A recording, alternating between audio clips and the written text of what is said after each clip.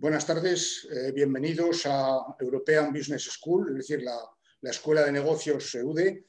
Eh, mi nombre es José Vera, aunque veremos luego la, eh, presentación de, mi carta de visita, por decirlo de alguna forma.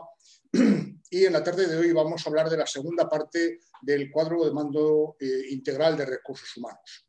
Hace unas semanas hicimos una, primera parte de esta, de esta serie de seminarios en la cual hablábamos del cuadro de mando integral en su versión más genérica, para bueno, pues hablar un poco de generalidades, sobre todo para aquellas personas que no estuvieran eh, acostumbradas a, esta terminología, sobre todo a esta, a esta tecnología.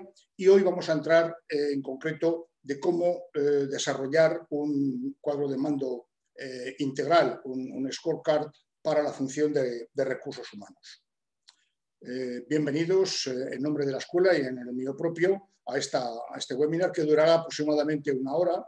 Eh, durante esa hora voy a hacer la presentación de los contenidos con el fin de no perderme en mi disertación y centrarme al, tema e intentaré dejar unos 10 minutos de, de, pequeño coloquio, de debate, de, momento de discusión y clásico capítulo de ruegos y preguntas a la condición de que sea capaz de, responder a las preguntas que se puedan plantear. Eh, como digo, es la segunda parte de esta serie de dos eh, webinars, de dos horas eh, de disertación sobre el cuadro de mando integral, en la cual nos vamos a centrar ya muy cerca en el tema de los recursos humanos. Para aquellas personas que no han tenido la oportunidad, no voy a decir suerte, pero por la oportunidad de verme en alguna otra ocasión anterior, esta es un poco mi tarjeta de visita, de forma que la persona que está al otro lado de la pantalla pueda tener una idea de quién es el ponente eh, al cual está escuchando en la tarde de hoy. La formación ingenieril fue puramente casual, fruto de una, de una beca de estudios, porque a los pocos años de trabajar en la ingeniería eh, apareció una oferta de empleo para trabajar en recursos humanos que cambió por completo mi vida profesional. Una cosa es que de, formación de base sea eh, ingeniero mecánico y otra cosa es que desde el punto de vista eh, profesional eh, y casi diría que vocacional me he dedicado a trabajar en, recursos humanos. Mm, si no recuerdo mal, todos los que asisten a, esta videoconferencia han tenido la oportunidad de tener en, mano lo que sería el texto del, del caso práctico en el cual me voy a apoyar para ir haciendo algunas preguntas y sobre todo para provocar un poco la participación de los asistentes en esta, en esta videoconferencia. No se trata de que lo leáis ahora, lo tengo un poco como recordatorio solamente. Si alguien no tiene el documento a mano, puede hacer una lectura rápida en diagonal para saber en qué consiste el caso práctico. Es una descripción de una empresa del sector del automóvil que está, tiene una serie de condicionantes y en base a esos condicionantes voy a ir haciendo preguntas a lo largo de la videoconferencia para que eh, los asistentes puedan ir participando, se puedan involucrar en el desarrollo de, la misma. Como buen ingeniero siempre hago un pequeño sumario, una, una, sinopsis de, de, en qué va a consistir la videoconferencia. La parte que está en azul, es decir, los cuatro primeros puntos, son los que vimos hace unas semanas en la primera parte hablando del eh, cuadro de mando en general, los orígenes y los, KPIs en general. Y hoy vamos a hablar del HR Scorecard, es decir, del cuadro de mando integral de recursos humanos. Hablaremos un poco de la implantación y la comunicación y cómo abordar una, eh, una aplicación práctica. Obviamente, una hora de duración no da para hacer una tesis doctoral sobre el tema, eh, Dios me libre, tampoco pretendo que los contenidos sean lo suficientemente pesados como para que el público se marche al cabo de 15 minutos, sino voy a intentar mantener la atención eh, hasta el final de, mi presentación, porque lo que voy a hacer es darle un enfoque muy práctico, muy pragmático, para eh, acompañar a esa teoría que se pueda eh, bien seguir a, lo largo del máster o bien en la bibliografía que dejaré al final de la, presentación. también como comentario en paralelo, a partir de mañana tanto el caso práctico como los contenidos de esta presentación estarán a disposición de toda persona que, lo desee, eh, que, lo, que, lo, pida a, la escuela, a EUDE. Vamos a empezar por la primera parte, lo que es el HR Scorecard, es decir, el cuadro de mando integral de recursos, humanos. A modo de recordatorio, lo vimos ya un poco la, terminada la semana pasada o, hace dos semanas, los activos, eh, vamos a decir, eh, de, la, empresa puede ser son tangibles e intangibles a la vez, pero las personas es el, activo más importante, el activo mixto, es decir, tangible e intangible al mismo tiempo, en una palabra, el, propio talento. Eh, se nos llena la boca diciendo que una empresa vale lo que valen sus empleados, aun cuando los tiempos que corren Mm, pues pueden tener parte del auditorio grandes argumentos para decir que es una, que es una falacia, pero bueno, lo, iremos aclarando poco a poco. ¿Cuál es la base del talento? En cualquier tipo de empresa, el principal medio de producción es pequeño, gris y pesa aproximadamente 1,3 kilos. Se trata del cerebro humano. Es una, frase que la suelo colocar al principio de ese tipo de seminarios para entender que estamos hablando de algo en principio muy pequeño, ¿eh? pero personal e intransferible por parte de la persona que lo está utilizando. El talento es universal, es totalmente transversal, pero sobre todo es personal e intransferible. El conocimiento se puede transferir, pero el talento no. Importancia de los activos. ¿eh? Bueno, pues hemos hablado de que los activos son tangibles, intangibles y mixtos. Si una empresa pierde los tangibles, pues se pueden sustituir, se pueden comprar. Es algo que, ¿eh? pues si, nos, si, roban una maquinaria, si, si, un camión se amortiza, pues se compra otro.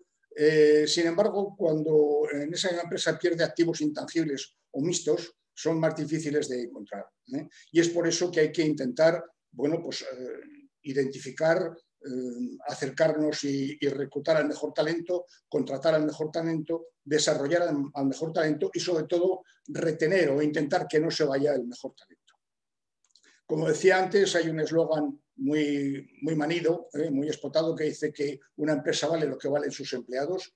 Este es un empleado de la empresa Crisco, allá por los años 70, cuando empecé a trabajar en, en ingeniería, y como avanzaba hace un momento, muchos de los asistentes pueden pensar que, esto es una falacia. Es decir, hoy en día parece que tiramos fácilmente de un expediente de relación de empleo o de un, de un ERTE que tan de moda están en estos días de, pandemia y parece como que los dejamos un poco arrinconados a, los empleados. ¿verdad? Parece que es un, activo del cual podemos mm, comprar y vender, eh, dicho sea en, en, términos mercantiles muy poco apropiados para, para hablar en recursos humanos, pero parece como que es moneda de cambio, ¿verdad? Entonces, mm, como defensor de la función de recursos humanos, tengo que seguir manteniendo este eslogan de que una empresa vale lo que valen sus empleados. Si los empleados son empleados con mucho talento, la empresa será talentosa. Si los empleados son mediocres, la, la empresa será mediocre sin lugar a dudas. Y esos empleados son los que tenemos que gestionar desde la desde la función, desde el Departamento de Recursos Humanos, de personal, talento, personas. Últimamente se está eh, manejando demasiado la, terminología, la semántica para eh, eh, capital humano, se está llegando a decir. no olvidéis que de lo que estamos hablando es de, personas.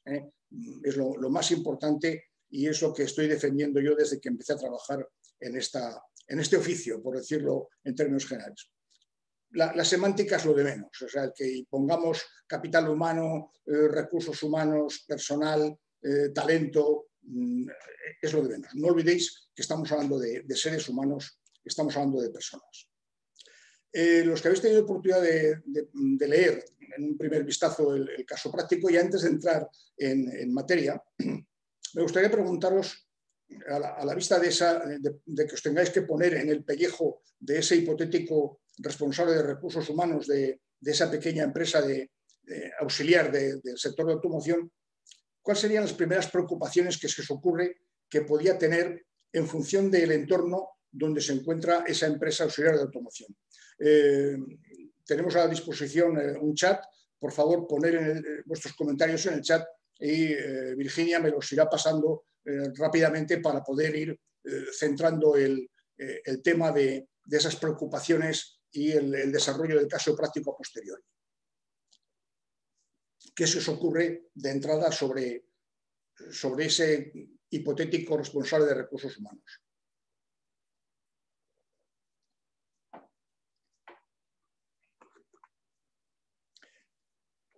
Os quiero advertir que no, no hay pregunta o comentario indiscreto o tonto. ¿eh?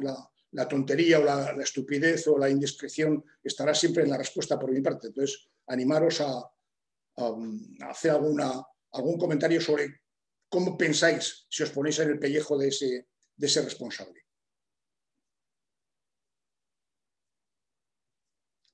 ¿No se anima nadie? No, de momento no tenemos ningún comentario.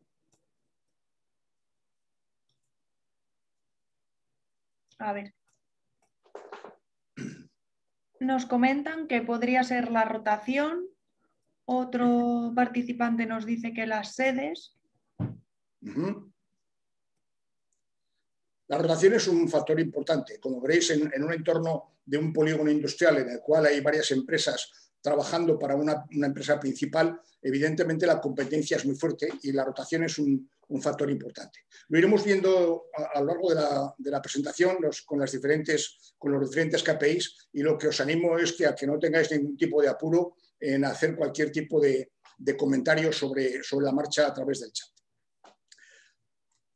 Eh, la semana pasada, vamos, la, la jornada anterior vimos eh, un poco el modelo de, eh, de Norton y de Kaplan sobre cómo tenía eh, diseñado ese, eh, ese cuadro de mando integral genérico con esas variantes financieras del cliente, aprendizaje y de, y de, procesos internos. Pues en la parte de recursos humanos vamos a centrarnos en los procesos internos, es decir, los están relacionados con las personas y con el talento. No vamos a hablar de KPIs de financieros ni KPIs comerciales o con el cliente, sino básicamente en esos procesos internos que están relacionados con, las personas, con la, plantilla de la empresa. ¿Qué KPIs eh, vamos a encontrarnos dentro de esta función, de esta gestión del talento de los recursos humanos? Según su origen, pueden ser endógenos, es decir, que salen del propio interior de la empresa, y estarán relacionadas con las propias personas, con los propios empleados y sobre todo con el, propio negocio. Dependerá el tipo de negocio, si es una empresa manufacturera, si es una empresa de ingeniería, si es una empresa de servicios. Lógicamente, esos KPIs eh, estarán, mm, serán unos u otros en función de, las características de la empresa. Y luego, por otra parte, nos aparecerán estos eh, indicadores de, desempeño, de desarrollo del negocio eh, claves relacionados con el entorno geográfico, con la competencia, con el sector, etcétera, inclusive con la propia clientela. ¿eh? Algo que, no está en manos del propio empresario el poderlos gestionar o no. ¿Qué tipo de KPIs endógenos podemos encontrar dentro de, la función de recursos humanos? Pues primero la distribución de las plantillas. ¿eh? Para entender bien qué, plantilla tenemos, pues podemos tener una distribución por edades, por sexos, por categorías o grupos profesionales, por antigüedad, por formación, etcétera. Todo lo que, eh, todos los factores que nos pueden interesar a la hora de gestionar esa plantilla. Luego también el índice de rotación. ¿eh? Alguien lo mencionaba ya anteriormente, es un punto importante saber cuántas bajas vegetativas tenemos, bajas no deseadas, bajas no problemáticas, bajas forzosas, etcétera. También eh, un KPI a controlar y a manejar es el, índice de absentismo en función de todos los parámetros que van a influir. ¿eh? el absentismo mental, el absentismo por eh, bajas de enfermedad, ILT, accidentes de trabajo, em, vacaciones, maternidad, horas sindicales. Eh, hay un montón de, parámetros o de KPIs que tenemos que tener en consideración. Índices de siniestralidad, todo el tema de prevención de riesgos laborales, saber que, cuántos tipos de incidentes tenemos, de lo que podía ocurrir pero no ocurrió, accidentes con o sin baja, accidentes fatales, son, todo dependerá también del tipo de, de compañía, de, negocio que estemos manejando. La masa salarial, los costes de personal, etcétera. Todos ellos están relacionados con las personas, con la plantilla. ¿eh? Es, algo que está muy inherente a la función de la gestión del talento o la gestión de recursos humanos, como queramos llamar. ¿Y qué KPIs exógenos, es decir, ajenos a la propia empresa, nos podemos encontrar y que tienen una cierta incidencia con, eh, con los recursos humanos? Bueno, pues en primer lugar el índice de precios al consumo, el famoso IPC, pues para saber un poco cómo evoluciona el, coste de la vida y ver cómo tenemos que también evolucionar nuestra masa salarial, nuestros costes de personal, en función de cómo queremos mantener el nivel de, pago, ¿eh? el, nivel de compensación de la, empresa. El índice de precios industriales, que nos va a definir un poco el margen que tenemos, sobre todo el margen económico para, para definir mejor la masa salarial, índices de demografía del país, ¿eh? sobre todo cuando hay un envejecimiento del país, pues tenemos que a veces encontrar profesionales en otros países porque no hay eh, cantera eh, joven suficiente dentro de, nuestro país. Estadísticas educativas, como es el tema del informe PISA, saber cómo están el nivel de estudios dentro del país o los países donde estemos actuando los salarios, es decir, mantener un control de una encuesta salarial sobre cómo está pagando la competencia dentro del sector o fuera del sector o sencillamente en el entorno geográfico donde la empresa se mueve. Todos básicamente son cifras, es decir, eh, los primeros están muy relacionados con las personas y los exógenos la mayor parte de las veces los podemos cifrar ¿eh? con un guarismo numérico que nos define claramente cómo está ese indicador.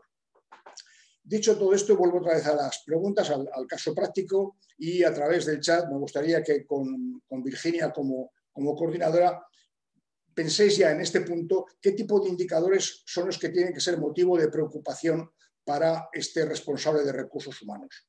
Inclusive si podéis decir si lo, valoraríais en valor absoluto, si lo mediríais en valor absoluto o en valor relativo, en porcentaje os animo a que penséis un poco el caso práctico y que eh, participéis en, en este desarrollo.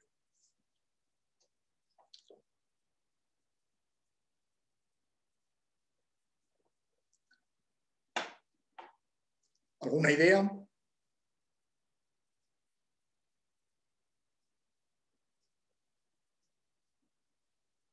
Al margen de las preocupaciones que mencionaba anteriormente, indicar ya el, tipo de, KPI, es decir, qué indicador interesa controlar.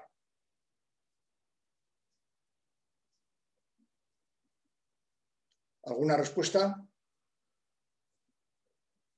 Sí, nos están comentando por el chat que absentismo, siniestralidad, salarios, pueden ser algunas de las respuestas sobre todo en empresas industriales en las cuales hay cierto, cierto problema sobre el control y la gestión de los, de los riesgos laborales, lógicamente el absentismo es, es, clave. ¿eh?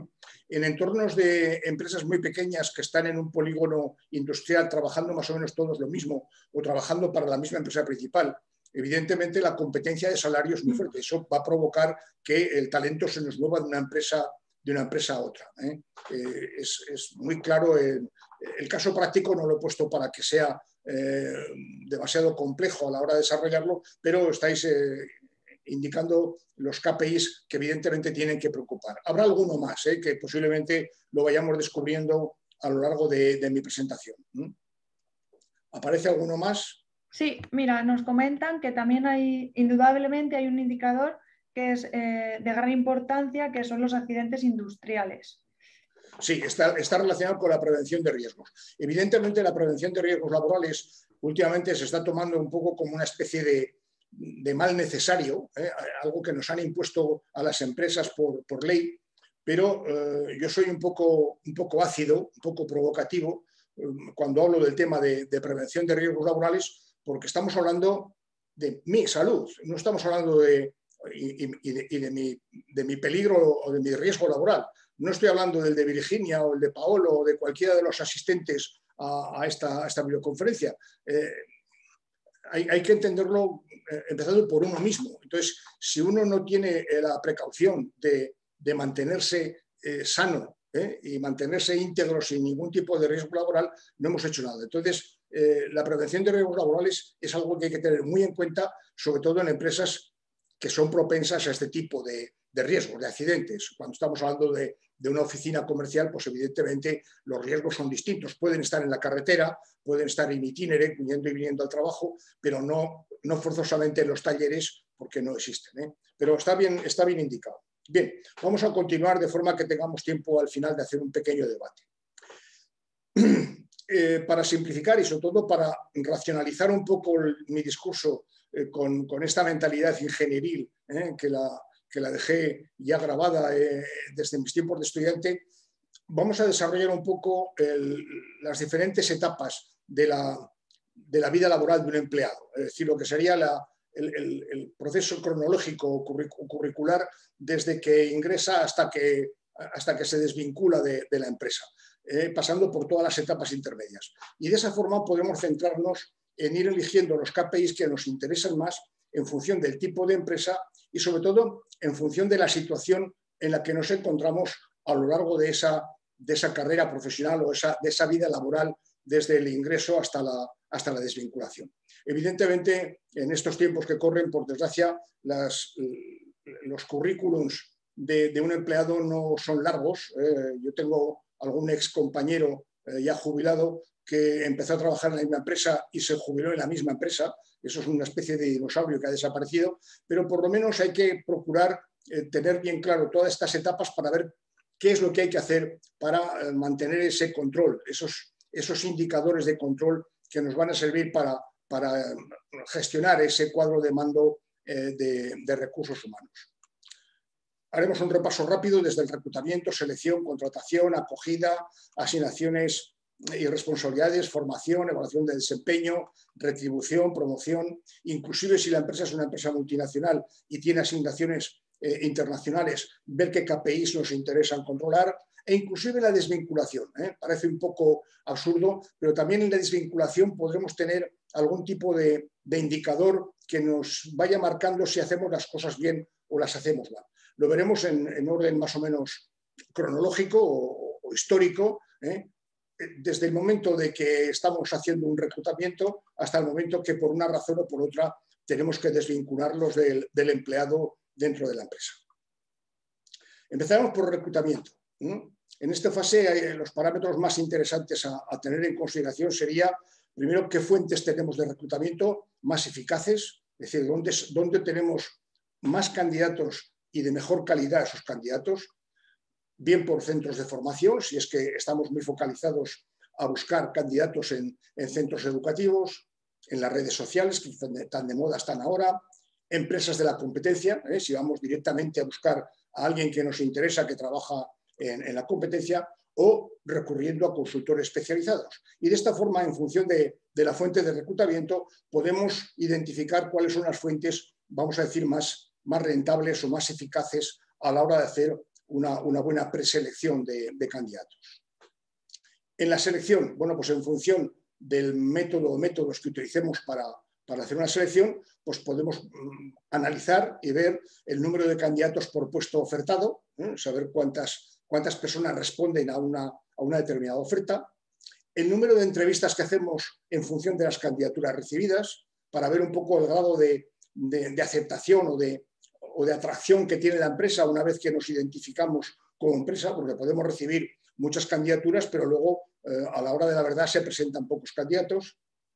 El número de entrevistas reales realizadas en función de los candidatos convocados, hay mucha gente que se queda descolgada en el camino, y el número de ofertas realizadas por el, de candidatos entrevistados. Es decir, eh, no sé muy bien en, las empresas donde podéis trabajar cuál es el, ratio que tenéis, pero yo recuerdo haber estado eh, contratando a 2,4 eh, candidatos por cada 100 candidaturas recibidas, un, 2,4%. Bueno, pues era un, KPI que lo teníamos muy, muy en consideración.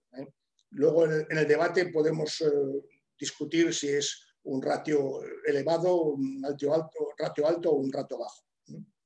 En el momento de la contratación, una vez que hemos hecho la oferta, interesa conocer el número de ofertas aceptadas frente al número de ofertas eh, realizadas, porque muchas veces eh, hacemos una oferta pero no es lo suficientemente interesante para el candidato y se nos descuelga del proceso de selección.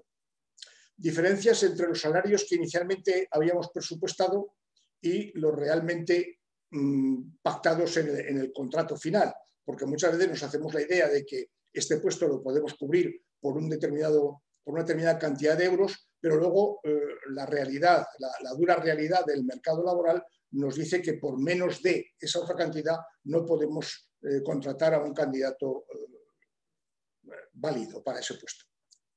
Y luego el número de candidatos perdidos debido a contraofertas que les han podido hacer.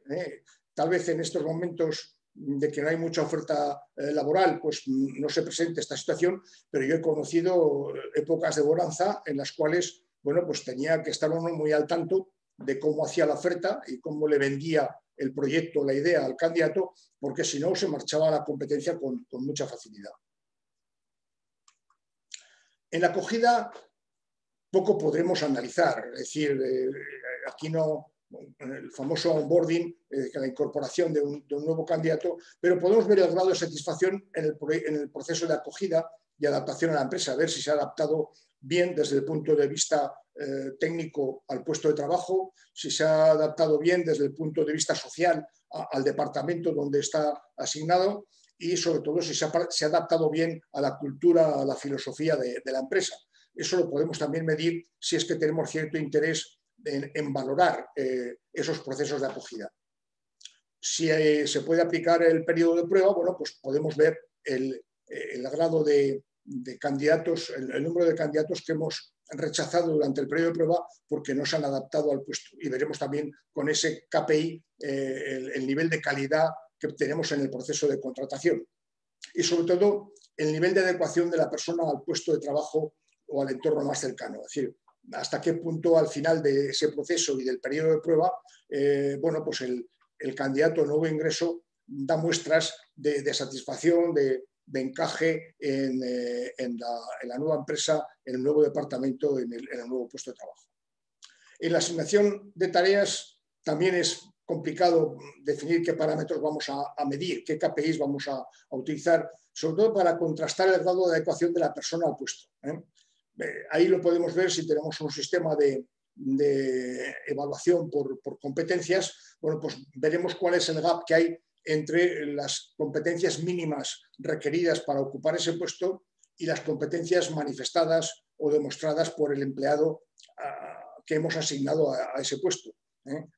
Yo diría que es de los pocos elementos que se pueden utilizar como, medida, como identificación de, de acierto en la asignación de tareas. En los cursos de formación y desarrollo también es un poco complicado de medir, sobre todo porque muchas veces no sabemos hacer bien las encuestas de evaluación, pero podemos ver cuál es el grado de satisfacción del empleado cuando finaliza el curso. Evidentemente hay que plantear bien la encuesta porque normalmente cuando se acaba el curso ¿eh? el, monitor entrega un papelito a los, para que de una forma anónima contesten sobre el grado de satisfacción del curso y bueno, pues el, que ha asistido al curso, como tiene ganas de marcharse, va a hacer una cumplimentación muy rápida. Supongo que al final de esta videoconferencia, EUDE también nos eh, pasará una, encuesta de, calidad del resultado de esta videoconferencia y bueno, pues de esa forma yo podré también con el tiempo ir corrigiendo aquello que no, eh, estoy haciendo adecuadamente o por lo menos eh, con el grado de satisfacción que está esperando el auditorio encuesta de calidad del formador, es decir, qué es, lo que, es lo que ha hecho. El nivel de aprovechamiento del curso, esto se verá evidentemente al cabo del tiempo, no se puede ver de una forma inmediata. El volumen de asistencia a cursos, convocamos a un, montón de, empleados, a un cierto número de empleados, y luego resulta que nos acude la mitad por razones endógenas o, exógenas. Algo que es muy interesante hacer y que lo, planteo en algunas otras eh, videoconferencias sobre formación en la empresa es el cálculo del retorno a la inversión eh, que hacemos en, esas, en esos ciclos de formación. Eh, la formación no es un coste, es una, es una inversión, con lo cual el, director financiero siempre está muy interesado en saber cuál es el ROI, eh, ese, ese, índice de retorno a la inversión de, esos costes de, los cursos de formación o de los planes de formación para saber en qué plazo hemos amortizado esa inversión. Y luego, evidentemente, con el transcurso del tiempo veremos las mejoras que se pueden observar en los resultados. La siguiente etapa, ¿eh? evaluación del desempeño. Bueno, pues si tenemos un sistema de evaluación del desempeño por competencias, por objetivos, por resultados, etcétera, pues podemos medir el porcentaje de consecución de los objetivos en función de, esa, de, ese plan de dirección por objetivos, una calificación de los empleados en función de esa actitud de, desempeño, si estamos valorando el desempeño del empleado, y sobre todo una ponderación de las necesidades de formación, tanto las necesidades de formación específica o técnica como la genérica o gerencial que podamos, que podamos tener. No es fácil, evidentemente, ponerle ahí un, guarismo, un, número a este KPI de la evaluación del desempeño, pero cada uno tendrá que ser lo suficientemente imaginativo como para decir, me interesa medir esto por esta y esta razón, por lo tanto voy a definir este KPI con los límites superior e inferior para que lleve un control de cómo se está haciendo la evaluación del desempeño. Si tenemos un sistema de gestión por competencias, esto es una pequeña gráfica que suelo utilizar para explicar eh, ese gap entre el perfil mínimo necesario para ocupar ese puesto, que sería el, perfil de los rombos azul oscuro, y en azul claro el nivel de alcance de la persona que ocupa ese puesto en cada una de esas competencias. Bueno, es un ejemplo mm, meramente ilustrativo, lo podéis leer a partir de mañana con toda tranquilidad, no hay, ninguna prisa. En el capítulo de retribución, en función de, de, la fase anterior, de decir, de evaluación del desempeño, de formación, etcétera, en base a estadísticas obtenidas en esa evaluación, podemos diseñar una tabla de incrementos salariales en función del el nivel de desempeño de cada uno de los empleados. Si tenemos un sistema de desempeño basado en letras A, B, C, D, E o 1, 2, 3, 4, 5, lo que queráis, bueno, pues podemos eh, establecer unas playas de incrementos salariales en función de ese, de ese grado de alcance, de ese nivel de desempeño que ha manifestado el empleado en esa, en esa evaluación. También se pueden hacer simulaciones de distribución de la masa salarial utilizando una hoja de cálculo. Eh, la hoja de cálculo es el mejor invento que se ha podido hacer para, eh, la, para la función de recursos humanos porque permite hacer simulaciones en negociaciones de convenio, en, eh, distribución de masas salariales, etcétera, en función de esos niveles de desarrollo, de desempeño que, han manifestado el empleado en su evaluación sin olvidar ¿eh? la masa salarial total, la variación de esa masa salarial anual en función de las altas y bajas que podamos tener en la empresa o los, incrementos de convenio, etcétera, cómo se ha ido incrementando esa masa salarial, cómo inciden los convenios colectivos, tanto si son de empresa como si son de, sector o nacionales, los costes sociales, cómo van también evolucionando, habrá que tenerlos muy en cuenta a la hora de, controlar esa, retribución, qué niveles de retribución tiene la competencia para saber si estamos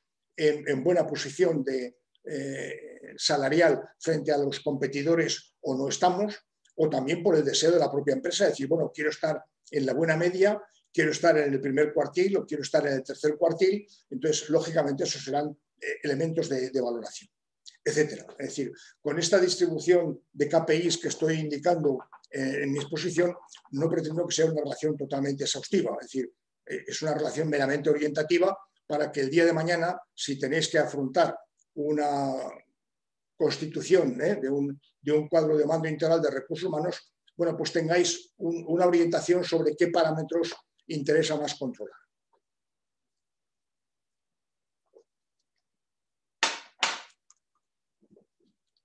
Vuelvo a los ejemplos gráficos. Dar un diagrama de barras con histogramas o la, hoja de cálculo, que como digo es la mejor herramienta que puede tener hoy en día un responsable de recursos humanos.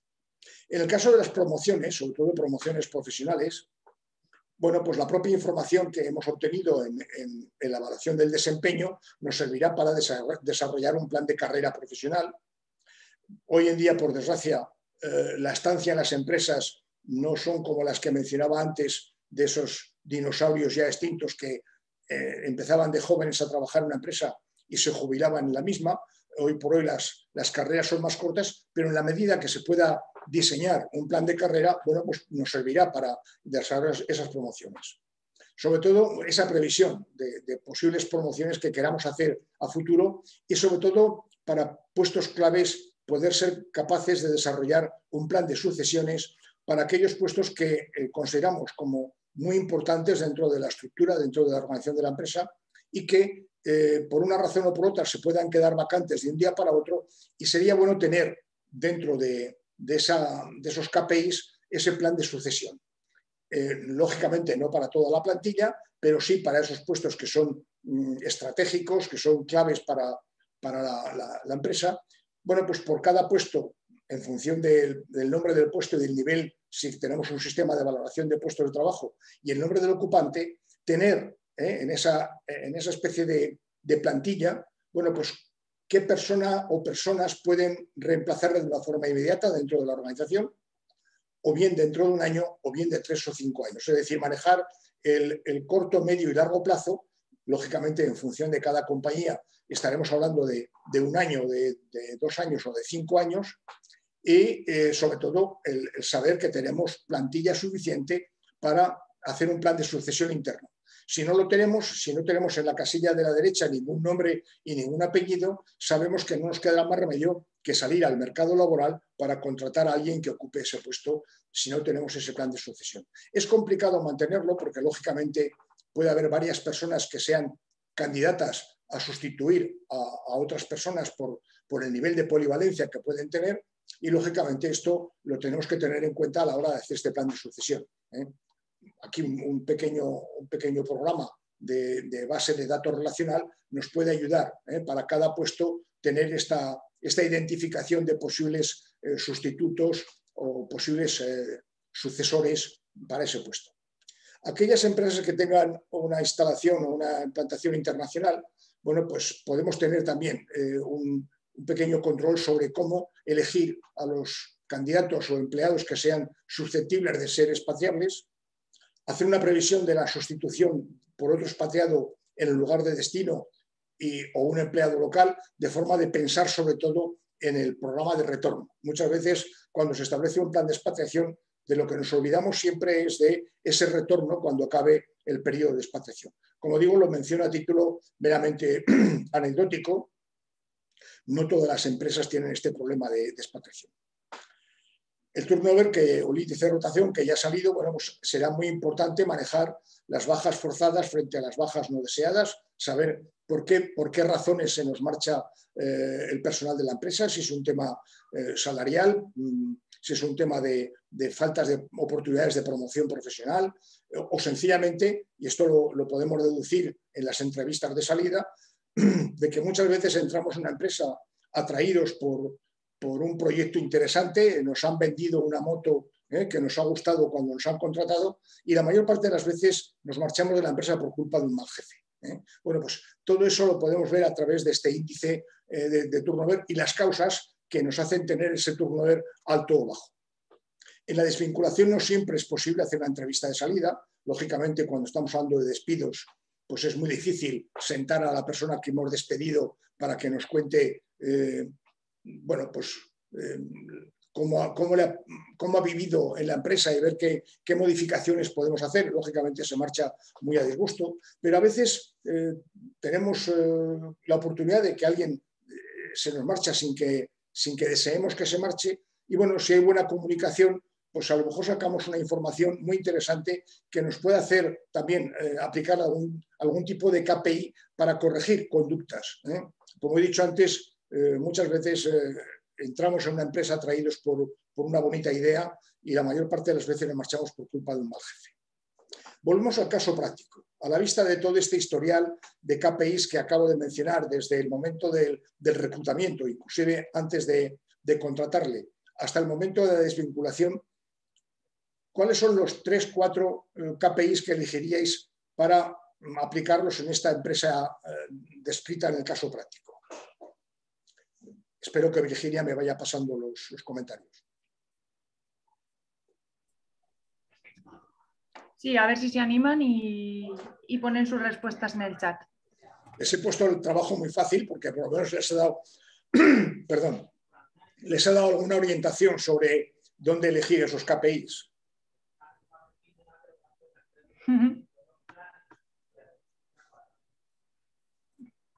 A.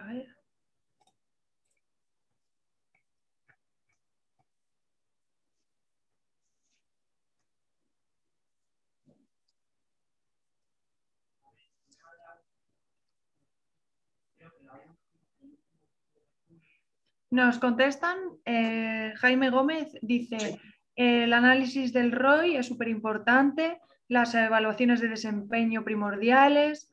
Luis Alfonso nos dice que la promoción, el salario, la estabilidad laboral, la capacitación también, reclutamiento, onboarding, formación, promoción, rotación.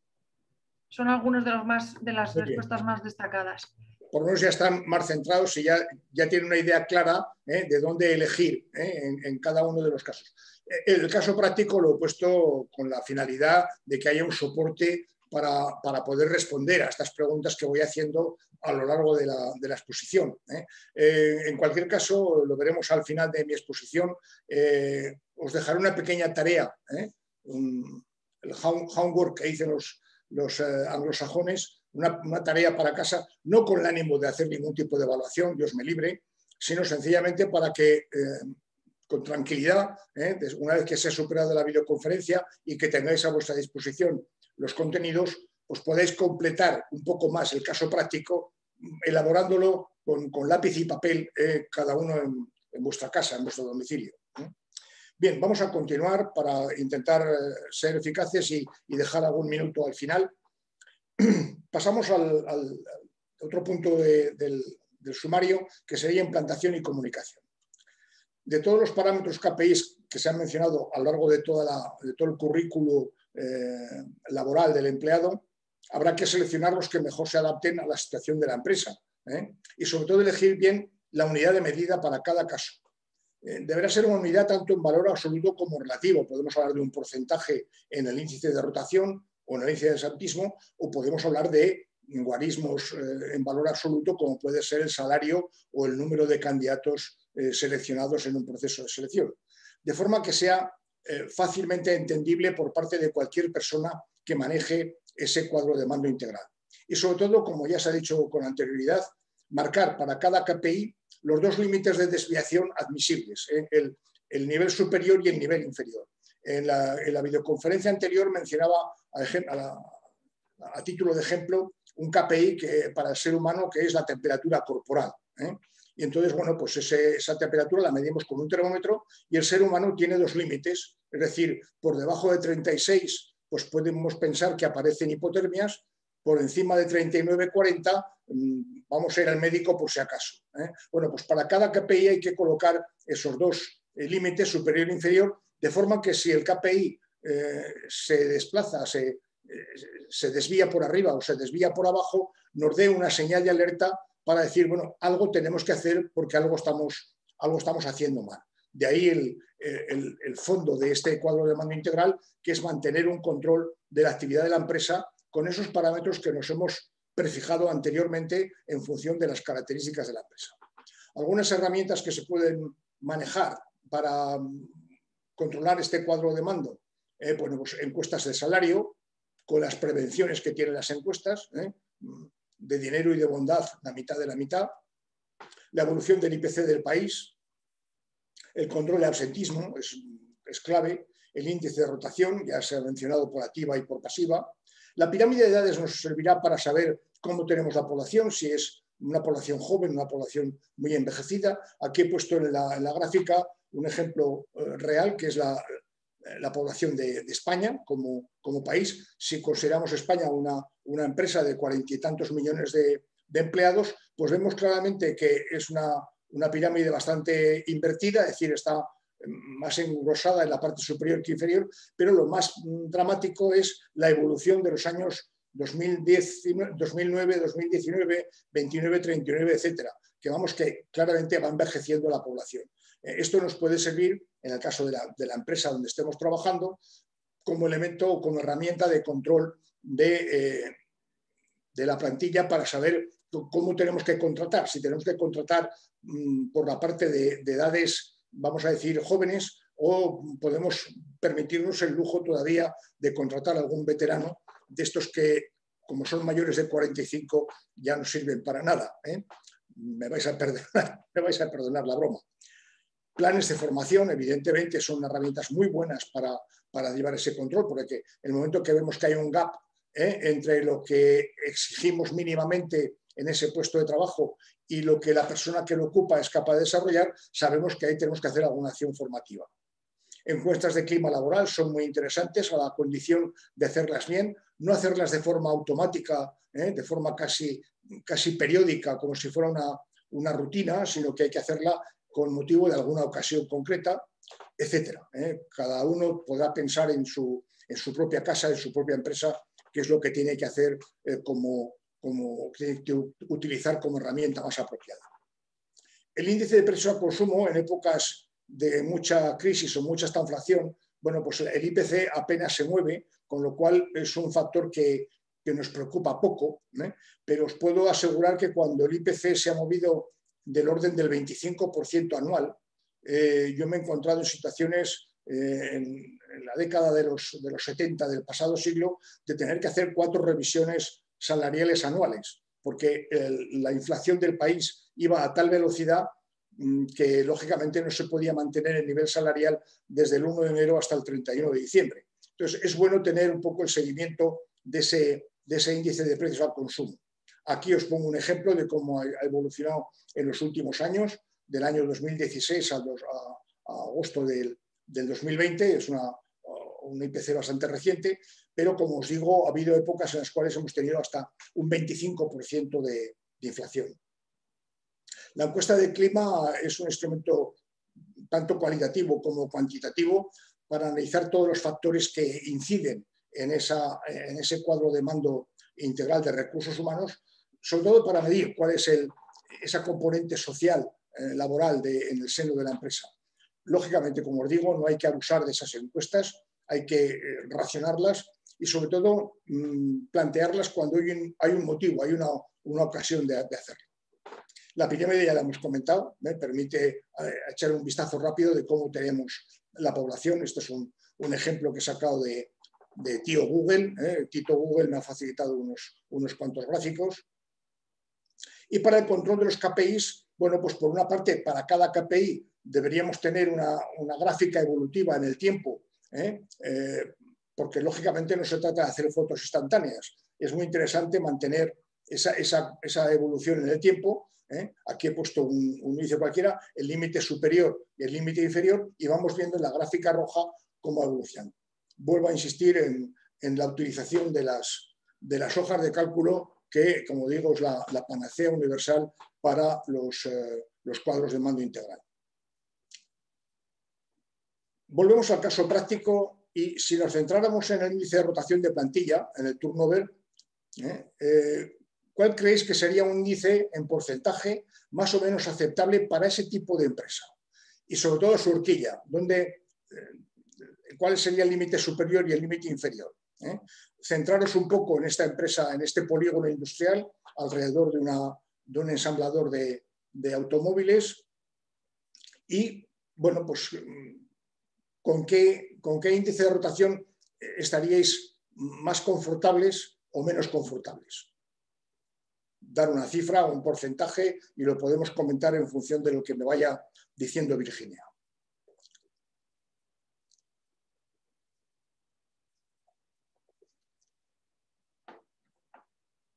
¿Alguna idea?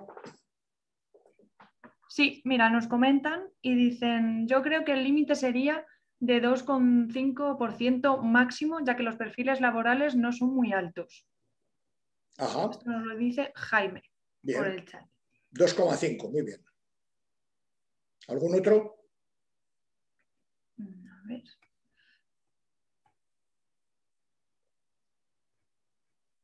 Sí, eh, Diana Martínez nos dice, pensando que hay un uso de maquinaria, diría que entre un 3% y un 5%. Lógicamente, este, este parámetro, eh, mientras me vas diciendo algún dato más, voy a, dando alguna explicación, eh, es muy relativo. Es decir, todo dependerá del tipo de empresa y sobre todo del momento, del aquí a la, el ahora. Es decir, eh, una empresa manufacturera, industrial, como la que está descrita, eh, a partir de un 5% tiene que empezar a pensar si está haciendo algo mal. Lógicamente hay que intentar mantener la plantilla, sobre todo aquellos empleados que son eh, eficaces en, su trabajo. Hay otro tipo de empresas, y voy a mencionar dos ejemplos. Por una parte, un call center y por otra parte, una, empresa de distribución pues no sé, tipo, eh, sin ánimo de hacer publicidad, tipo Decathlon, eh, tipo IKEA, o, de distribución de, productos de gran consumo, que muchas veces se nutre en su plantilla de personal joven, personal estudiante, que se está ganando un dinero trabajando y estudiando al mismo tiempo y el que haya un índice de rotación de un 20% o un 25% tampoco debe asustar. ¿Por qué? Porque la propia característica de esa empresa ya está dando señales de que su índice de rotación va a ser, va a ser alto. ¿eh? Pero si estamos hablando de empresas más o menos estabilizadas, ¿eh? Eh, a partir del 4,5 del 5% ya hay que empezarlo a, hacérselo mirar por si acaso estamos haciendo, haciendo algo mal. ¿Ha habido alguna otra, alguna otra cifra?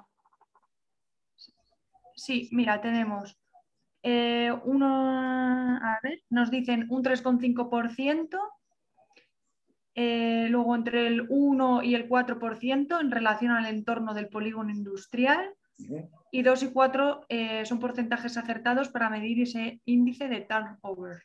Bueno, veo que por lo menos están, están bien centrados en el, en el tema que nos ocupa. ¿eh? Me, alegra, me alegra que haya habido estas cifras y no, y no otras. Pero insisto que el índice de rotación habrá que eh, considerarlo en función del tipo de empresa y sobre todo en el aquí y el ahora, es decir, en el, en el momento y en el, lugar donde estemos. ¿eh? Si estamos en, un entorno en el cual la competencia es muy fuerte, yo recuerdo en los años 90, también del pasado siglo, que en el sector de electrónica, informática y comunicaciones, eh, los empleados se cambiaban por el mero hecho de que en la otra empresa eh, el autobús les dejaba mejor. Este, esto no me lo estoy inventando, es eh, comentarios que, he recibido en la entrevista de salida. Dice, no, no, yo estoy muy contento, pero es que en esta otra empresa tampoco me, pagan mucho más, pero, pero, es que el autobús me deja mucho mejor en la puerta de mi casa. Ese tipo de argumentos también pueden, pueden darse en el aquí y el ahora. Algo muy importante. La gestión de, recursos humanos, del talento, no es de responsabilidad de, uno solo, ni, del responsable de recursos humanos, ni del director general. Es todo el equipo, sobre todo los mandos intermedios. ¿eh? Eh, hay que tener muy en cuenta eh, y, apoyarse desde el punto de vista de recursos humanos, apoyarse en los mandos intermedios porque son los que mejor conocen toda la, idiosincrasia, toda la, toda la problemática del, del trabajo del día a día y son los que nos van a poder apoyar para hacer esa definición, esa mejor definición de los, de los KPIs. De ahí la importancia de esa figura del Human Resource Business Partner, es decir, ese, esa especie de enlace, esa avanzadilla que tenemos desde recursos humanos dentro del negocio. Estoy hablando, lógicamente, de compañías multinacionales que tienen una gran estructura y que, lógicamente, dentro de cada división, recursos humanos puede destacar la ventanilla o el, enlace, la, comunicación de recursos humanos con esta figura del, HR Business Partner, el, partner de negocio de recursos humanos dentro de la, empresa. Importancia de la comunicación es básico, ¿eh? es decir, eh, hoy en día el siglo XXI será el siglo de la, de la comunicación sí o sí. De hecho, nos estamos comunicando en estos momentos a través de esta videoconferencia con un auditorio totalmente disperso. No sé exactamente cuál es la distribución geográfica de los asistentes, pero me imagino que es muy amplia, inclusive más allá de, los límites del, país, ¿eh? de los límites de la, península ibérica. Y, por esa eh, razón es importante, podemos comunicar bien, porque la información está al alcance de cualquiera. Papá Google nos da toda la información que requerimos, sin embargo, e, esa, esa labor de comunicación eh, es importante mantenerla en el interior de la compañía. ¿Por qué? Pues porque eh, la comunicación interna y el compromiso, el engagement, eh, son fundamentales. Y aquí quiero hacer una pequeña, una pequeña broma para que mm, el auditorio eh, entienda, o si es capaz de responderme, a lo mejor es un tema que conocen. En un desayuno inglés, ¿quién se implica más? Si tenemos unos filetes de bacon y unos huevos fritos o, huevos al plato revueltos, ¿quién se implica más?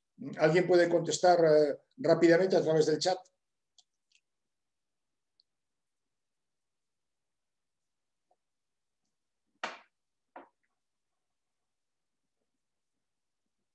¿Hay alguna respuesta? No, de momento.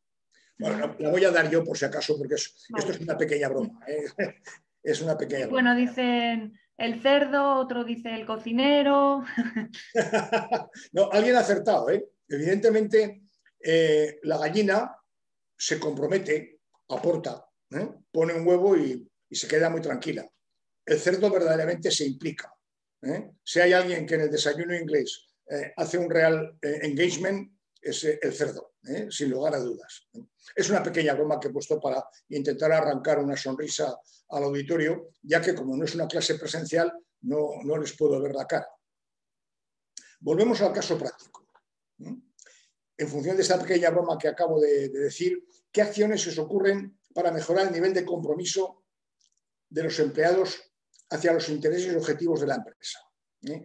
En, base a esta, esta, descripción de una pequeña una pyme que, se dedica a suministrar eh, componentes para, para, una empresa eh, ensambladora de automóviles, mm, ¿qué debería hacer este responsable de recursos humanos para mejorar el nivel de compromiso?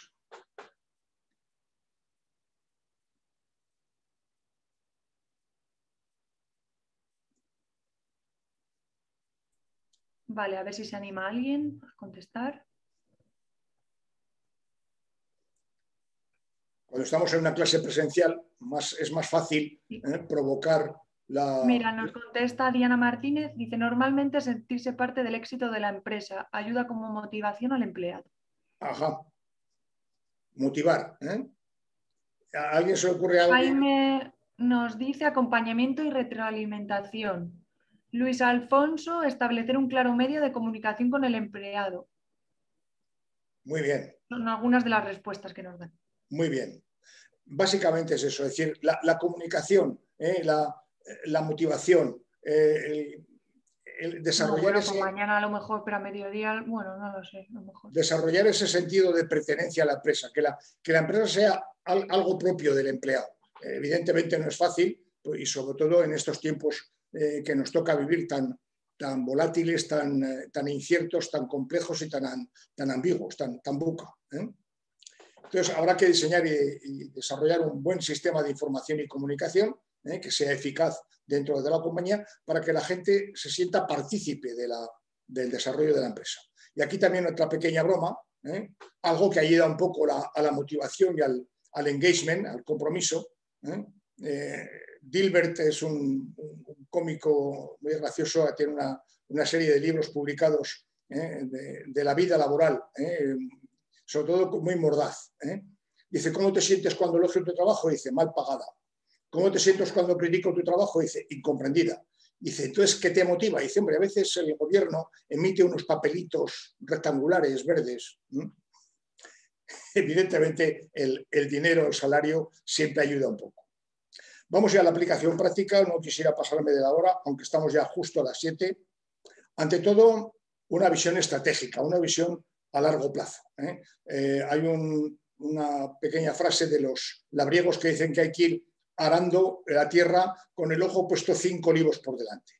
Entonces, el cuadro mando integral en el ámbito de recursos humanos hay que pensar en las estrategias de la compañía en ese largo plazo ¿eh? para, lógicamente, mejorar los resultados del negocio mantener las cuatro perspectivas del modelo original de, Kaplan y Norton, es decir, la perspectiva estratégica, la de operaciones, la del cliente y la financiera, sin olvidar la voz del empleado. ¿eh? Vuelvo a insistir en lo que decía antes, a pesar de, estos tiempos tan duros, eh, una empresa vale lo que valen sus empleados, entonces hay que escuchar siempre al, cliente interno ¿eh? y escucharle bien, con detenimiento. A veces, por desgracia, nos olvidamos de él. Hay una frase de Richard Branson, CEO de Virgin que dice, si cuidas de tus empleados, estos cuidarán de tus clientes. Un principio muy básico, tener bien claramente definida la empresa la visión, misión y valores de la empresa para aplicarla a la gestión del talento. Aquí he puesto unos ejemplos de lo que sería misión, visión y valores en función de, las características de la empresa y sobre todo cómo integrar. ¿eh? Primero, en función de la visión y la misión, establecemos la estrategia de la compañía, de ahí, como segunda derivada, la estrategia de recursos humanos y a través del, cuadro de mando integral, definir objetivos estratégicos, definir los indicadores que nos van a permitir seguir esos objetivos y un plan de trabajo. Y sobre todo con una comunicación mm, hacia arriba y hacia abajo, eh, top-down, eh, bottom-up, de forma que eh, tengamos una, una interrelación entre, entre dirección y empleados clara, abierta, con, un feedback eh, muy adecuado. una vez que se ha definido la estrategia de la compañía, definir la estrategia de, recursos humanos, sin olvidar que en, el caso de recursos humanos estará orientada a, las personas, es decir, eh, y, muy relacionado con la cultura y con la estructura que tenga la, empresa. Hay que alinearlas como si fuera la, cuadratura de los planetas, ¿eh? Esa alineación de planetas en el espacio, alinearlos con la visión, la misión, los valores, la cultura. Un ejemplo ¿eh? para ver cómo podemos alinear la estrategia de la organización con la de recursos humanos. Bueno, pues por una parte tenemos la estrategia de la, empresa, crecimiento en productos y mercados, eficiencia operativa, crecimiento en productos de valor agregado, etc. Y estas flechas nos van a interrelacionar cómo la eficacia, eh, la eficiencia operativa está relacionada con eh, eficientar los procesos de personal a través de la sistematización, etc. Eh, como digo, este material lo vais a poder disponer para leerlo todas las veces que queráis. Pero sobre todo, buscar fuentes de información precisa y fiable para todos esos KPIs. Si los datos no son fiables, eh, la información no será, no será válida. ¿Cómo hacerlo? Pues establecer una relación causa-efecto entre indicadores, ver cuál es la, la, relación que hay entre el KPI y el, y el fenómeno que queremos, eh, que queremos controlar, que queremos seguir, validar dichos indicadores con unos usuarios como modelos, es decir, podemos hacer una, operación de benchmarking dentro de la propia empresa o interempresas y sobre todo, lo que he dicho anteriormente, la hoja Excel os va a servir de gran ayuda porque vais a poder tener la, posibilidad de hacer un, elemento comparativo interno y externo de, mucha calidad. El proceso en cascada, es decir, una vez definidos los KPIs, vamos a decir, más básicos, podemos descender ¿eh? de arriba abajo con indicadores auxiliares, todos de ellos alineados con los indicadores principales. Primero, definir el mapa estratégico, los objetivos, identificar competencias, habilidades y formación necesarias para, para cada tipo de tareas, identificar la validez de la información, como he dicho antes, si la información no es válida no nos serviría de mucho, definir cuáles son los indicadores que queremos, que queremos seguir, las metas, eh, tanto las corporativas como por cada unidad, por departamento, por sucursal, por taller, etcétera, qué iniciativas estratégicas se establecen en cada una de esas unidades, definición de umbrales máximo y mínimo para cada KPI. Eso es fundamental porque no hacemos nada con decir que la temperatura son 38 si no sabemos que por debajo 36 está bien, por encima 39 hay que tener un poco de cuidado y sobre todo desarrollar e implantar el, cuadro de mando dentro de la empresa. Y vuelvo al caso práctico, nos vamos a pasar unos minutos, pero creo que ha valido la pena. En función de, todo lo que hemos expuesto, ¿qué dificultades puede encontrar este hipotético responsable de, recursos humanos para implantar su cuadro de mandos? Habida cuenta que es una pyme, que no tiene mucha plantilla, mucho personal de soporte para desarrollar su trabajo, bueno, pues qué dificultades puede encontrar, cómo, cómo debería afrontar la, implantación de un cuadro de mando.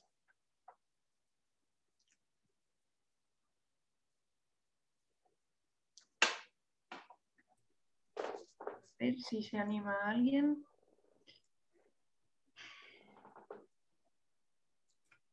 Los libros dicen que a partir de los 40 minutos me dicen, comunicación entre áreas se dificulta la posibilidad de apoyo por parte de los mandos intermedios, de los mandos medios. Como comentario adicional, antes de que llegue alguna otra, alguna otra respuesta, alguna otra, algún otro comentario, una pyme de ciento y pico empleados va a tener dificultades para implementar un cuadro de mandos potente, ¿eh? de gran dimensión lo que yo recomendaría es que este responsable hipotético de esta, de esta empresa del, caso práctico eh, empezara con, pocos KPIs, eh, los mm, más directamente relacionados con los, con los problemas que realmente tiene, porque tiempo tendrá para ir ampliando. Es decir, eh, hay, que, empezar paso a paso, dando pasos seguros y, no pretender construir una gran catedral cuando al final lo que, lo que necesitamos es una pequeña ermita. Mira, nos comentan también rotación del personal de la empresa, la disponibilidad de información por la cantidad de empleados. Muy bien. Insisto que el caso práctico lo único que pretende es que haya una, eh, una involucración del, del auditorio con, la videoconferencia y sobre todo que a partir de mañana se pueda desarrollar un poco más. Aquí unos pequeños resúmenes, es un proceso, como digo, en, cascada, es una herramienta que sirve para controlar los resultados de la, de la empresa y, lógicamente, lo que permite es manejar la incertidumbre, sobre todo en estos tiempos buca que ya he mencionado anteriormente. Lo que intentaremos es hacer una simulación o una extrapolación con una imagen aproximada al modelo real. Hoy en día ya se está hablando del gemelo digital, es decir, procesos informáticos que sustituyen eh, de forma digital a un proceso real, eh, lo digo inclusive hasta con procesos de fabricación. Y bueno, pues a lo mejor sería una buena herramienta para poder eh, simular en, un, en un gemelo digital, en un digital twin, el comportamiento de determinados KPIs para ver cómo podemos implementarlos en una, en una hoja o en una, en una scorecard más global, más completa. El Balance Scorecard tiene un enfoque top-down, es decir, de arriba abajo. La simulación de imágenes es un, elemento bottom-up, es decir, de abajo arriba. Y sobre todo lo que no hay que confundir el modelo de un, eh, cuadro de mando integral con un proyecto informático tipo ERP. Es totalmente distinto, es una herramienta muy de bolsillo para el responsable de recursos humanos dentro de la empresa. Yo diría que si quiere contestar a alguien que conteste, decir, ¿qué KPIs habría que elegir a efectos de esta pandemia que da la impresión de que ha venido para quedarse? Es decir, este, este dichoso virus. Eh, por si acaso se le ocurre a alguien eh, hacer algún comentario que lo vaya haciendo, eh, un recordatorio clave de honor, tampoco se nos vaya a la cabeza montando un cuadro de mandos como el de la pizarra de, de este pequeño chiste. Dice, nuestra nueva pizarra muestra todos los diferentes KPIs que podemos controlar ahora. ¿Y cuál es el KPI ese que tiende a cero? El de la, parte inferior derecha. ¿eh? Dice, pues es el KPI que mide hasta qué punto somos capaces de entender el resto de los KPIs. ¿eh? Es una pequeña broma en clave de humor para, para cerrar. Suelo utilizar esta frase de Mafalda, ya que muchas veces es difícil encontrar el punto final de un discurso, sobre todo los que somos tendentes a, enrollarnos, y este es mi punto final. Eh, os dejo también algo de bibliografía sobre el tema para que lo podáis leer con tranquilidad a partir de mañana.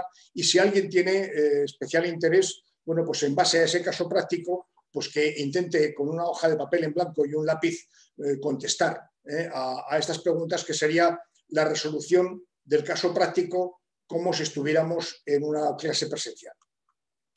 Quedo a vuestra disposición para cualquier pregunta que, se haya quedado en el tintero. ¿Eh? no sé si se han cumplido las expectativas o no de la, audiencia, pero quedo a vuestra disposición para cualquier pregunta de, última hora.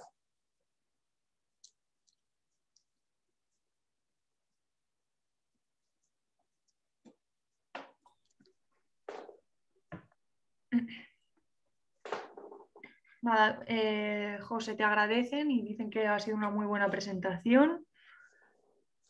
Pues muchas gracias en nombre propio, por la parte que me toca, y en nombre de, de, UDE, espero que nos volvamos a ver en otra, en otra próxima videoconferencia. Sí, seguro que sí. Muchas gracias a todos.